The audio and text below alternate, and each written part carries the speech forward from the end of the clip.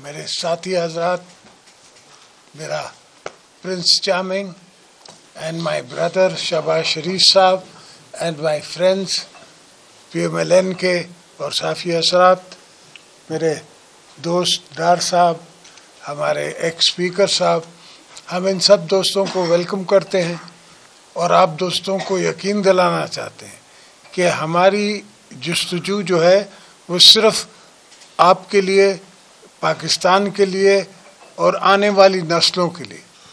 हम मिले भी इसी कॉन्सेप्ट पे हैं कि किसी तरह से पाकिस्तान को मुश्किलों से निकाल के आने वाली नस्लों के लिए इसको कामयाब करें। तो आप दुआ करें, पाकिस्तान को भी कहते हैं कि पाकिस्तानी जो सुन रहे हैं, वो भी दुआ करें। बहनें दुआ करें, मेरी माएँ दुआ करें, मेरी बेटियाँ दुआएँ करें कि हम सब कामयाब हो सकें।